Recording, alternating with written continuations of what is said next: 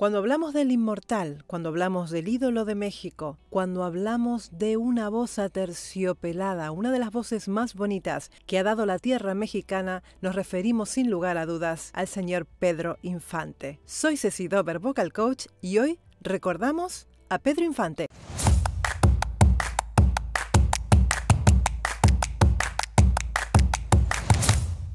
Si aún no lo has hecho, es buen momento para que te suscribas al canal clicando sobre el botón rojo que tienes por aquí. Además puedes seguirme también en estas redes sociales para tener mucha más comunicación conmigo. Nos vamos a poner un poquito en contexto y vamos a hacer un repaso por la carrera de este genio que era Pedro Infante. Pedro Infante de Mazatlán, Sinaloa, del 18 de noviembre de 1917, Mérida, Yucatán, 15 de abril de 1957, que es el día de su fallecimiento. Fue un cantante y actor mexicano. Es considerado uno de los actores más recordados del cine en México. A partir de 1939 apareció en más de 60 películas y desde 1943 grabó aproximadamente 314 canciones del género musical ranchera, por eso también es conocido como el rey de las rancheras. Por su actuación en la película Tizoc, en 1956 fue ganador de un Oso de Plata del Festival Internacional de Cine de Berlín en la categoría a Mejor Actor Principal y también obtuvo un premio de Globo de Oro por Mejor Película extranjera, el cual le fue otorgado por la prensa extranjera acreditada en Hollywood. En Culiacán fue vocalista de varias orquestas y se presentó en la radiodifusora local XCBL. Su esposa María Luisa León consideró que podía tener futuro y lo impulsó para que siguiera su carrera de cantante en Ciudad de México. Para 1938 ya cantaba en La Chev. Su primera grabación musical, El Soldado Raso, fue realizada el 19 de noviembre de 1943 para el sello de discos Peerless. Su primer papel actoral tomó lugar como extra en la película En un burro tres baturros en 1939 y también participó en algunos otros filmes como actor secundario. Tuvo su primer papel importante en la película La Feria de las Flores en 1943. Luego siguieron películas como Mexicanos al grito de guerra, Escándalo de estrellas en el 44, Cuando lloran los valientes en el 45. Más tarde personificaría el personaje Pepe el Toro en la trilogía de películas Nosotros los pobres, ustedes los ricos, Pepe el Toro en 1952. Otras producciones suyas fueron Los Tres García, Vuelven los García, Los Tres Huastecos, Dicen que soy mujeriego en el 49, El Seminarista, La Mujer que yo perdí, Sobre las olas, A toda máquina en el 51, ¿Qué te ha dado esa mujer? Ahí viene Martín Corona, Los hijos de María Morales en el 52 y Dos tipos de cuidado en 1953. Además, un detalle muy curioso, Pedro Infante era un fanático de la aviación, acumuló más de 2.800 horas de vuelo como piloto. Estaba registrado con el nombre de rol Capitán Cruz. Lamentablemente uno de estos vuelos fue el que le costó la vida, pero anteriormente a este accidente había tenido otros dos accidentes de vuelo. El 15 de abril de 1957, Pedro Infante pilotaba un C-87 Liberador Express perteneciente a la empresa TAMSA, a propósito de la que era socio. Poco después de despegar del aeropuerto de Mérida y apenas tras alcanzar 200 metros de altura, el C-87 se desplomó entre las 7.30 y las 8 de la mañana, en pleno centro de la ciudad de Mérida, Yucatán, al sureste de México. La investigación del accidente determinó que había sido un error de maniobra. En el lugar donde cayó el avión hay un busto conmemorativo de Pedro Infante y un monumento que se ha puesto en un lugar cercano, en el cruce de la calle 62 y 90 cuya plaza se llama Pedro Infante. Además, como una curiosidad extra, Pedro Infante también le gustaba tocar la percusión, no solamente era actor y cantante, y su tesitura era de barítono. Vamos a hacer un repaso por algunas canciones muy importantes que nos han hecho suspirar a tantas personas. Me gustaría detenerme en esta canción porque me parece maravillosa. Esta canción se llama Amorcito Corazón. Amorcito Corazón yo tengo tentación de un beso. Es una voz que te deja absolutamente hipnotizada, chicos. Tiene ah, una, una calidad vocal, un sonido, es que es el sonido, es un sonido más bien interno, tiene una colocación, como siempre les explico, como muy interna. ¿no? que se prenda en el calor de nuestro gran amor, mi amor.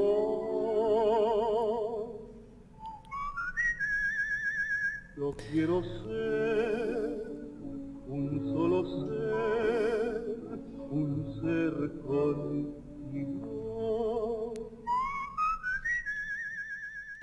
Es completamente maravilloso, maravilloso por donde lo mires. Es una cosa... pero tiene una forma de manejar esos matices, esos volúmenes que vienen y van, esos glisandos, esa manera de arrastrar las notas, escalas descendentes. Es magia lo que hace con esa voz. Te quiero ver en el querer para soñar.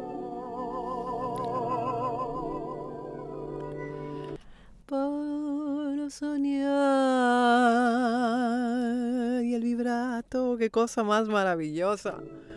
En la dulce sensación de un beso mordedor quisiera.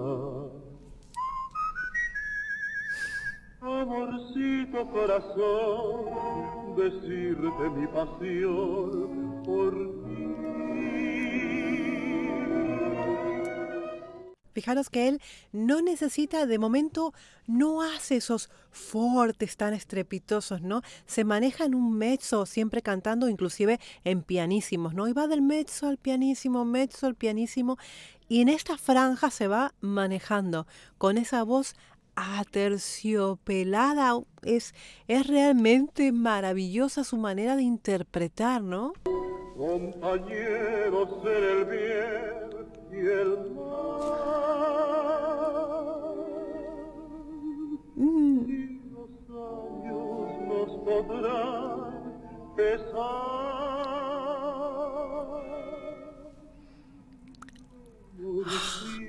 corazón. Lo han escuchado, ¿no? Que es un, es un sonido, es decir, lo baja al volumen mínimo, mínimo, mínimo que se pueda tener de voz. O sea, está como en una línea muy delgada en si bajo un poco más desaparece absolutamente. No, pero era tan bueno, tan pero tan bueno, que esa voz nunca llegaba a desaparecer del todo.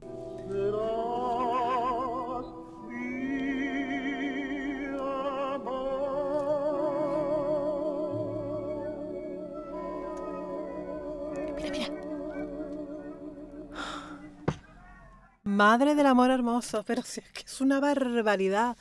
Lo han escuchado, qué cosas más maravillosas, pero tengo más. Tengo otra versión espectacular de Angelitos Negros que me he quedado muerta de escucharla, chicos. Vamos allá.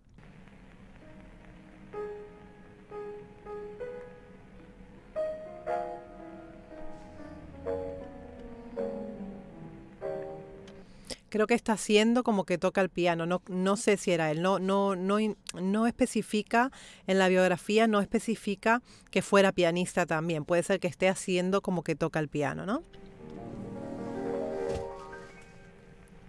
Pintor, Mm. nacido en mi tierra, con el pincel extranjero. Pintor que sigues el rumbo Siempre está, este es el común denominador en los cantantes de la época, que siempre cantaban dentro de su tesitura, cantaban cómodamente. de tantos pintores viejos. Mm. Aunque la Virgen sea blanca, píntame angelitos negros. ¿Viste cuando, cuando tú le das al volumen, a las perillitas de los volúmenes, y lo subes y lo bajas, y lo subes y lo bajas, o sea, con, con esa precisión, pues de esa manera manejaba él esas cuerdas vocales y ese aire. que también se van al cielo. Todos los negritos buenos, pintor, si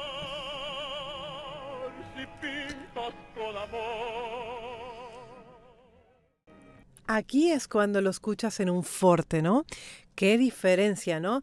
Ay, Dios mío, el amor hermoso. Eh, empieza completamente en un mezzo, ¿no? Está cantando muy cómodamente.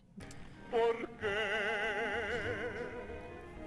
desprecias su color? ¿Voz llorada? Mm. También los quiere Dios. ¿Se fijan, no? La diferencia con la voz llorada. También, pintor. Como si uno estuviera llorando, está cantando, pero está llorando. Es esa colocación. Muchas veces inclusive necesitamos de hacer el gesto de llorar para que salga esa voz así como más contenida, más adentro. Y esto es muy de Pedro Infante, de la voz interna que yo le llamo, ¿no? Pintor de santos de alcoba, si tienes alma en el cuerpo,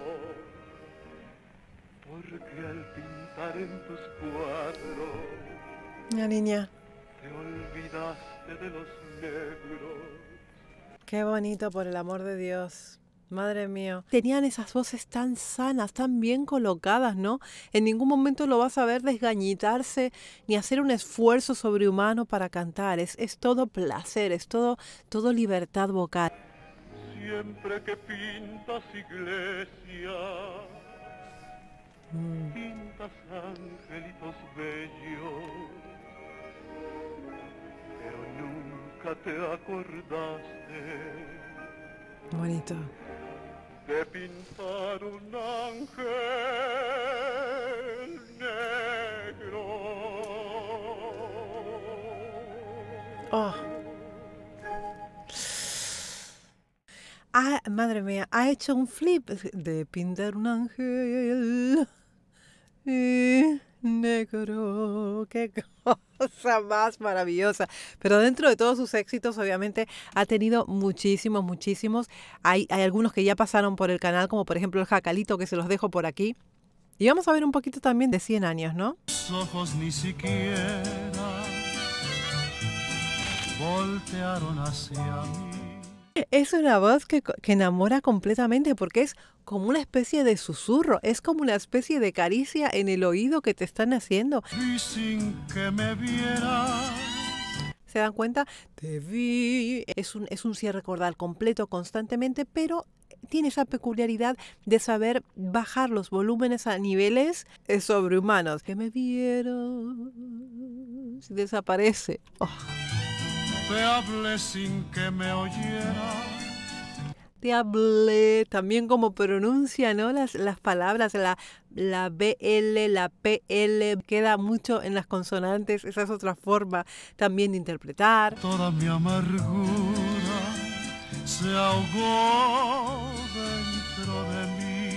Y toda mi amargura, la U, y toda mi amargura, es como si fuera una O detrás de la U. Hasta la vida, saber que me olvidaste.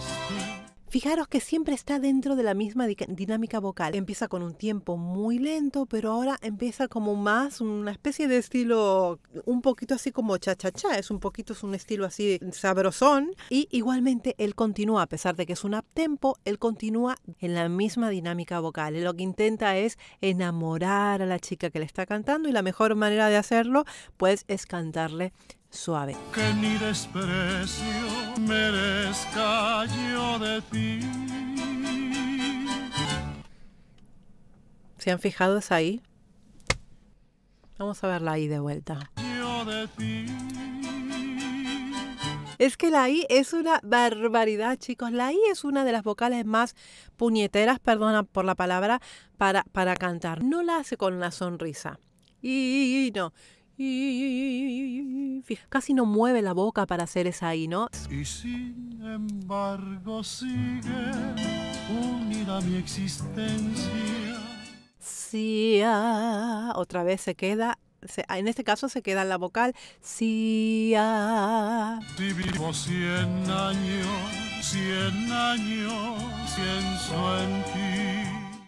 Es esas voces que no te cansas de escucharlas. Ha sido, es y será uno de los mejores cantantes del mundo, les podría llegar a decir. Es, es una voz que solamente tarda un segundo en enamorarte. No, no tarda más que eso. Es una voz que automáticamente capta tu atención al 100%. Realmente una destreza, una colocación, una técnica, un saber hacer las cosas, un gusto, porque es que hay que tener gusto también para cantar en los, en los efectos vocales que tú vas eligiendo, ¿no? Y él tenía muchísimo, muchísimo gusto para esas cosas.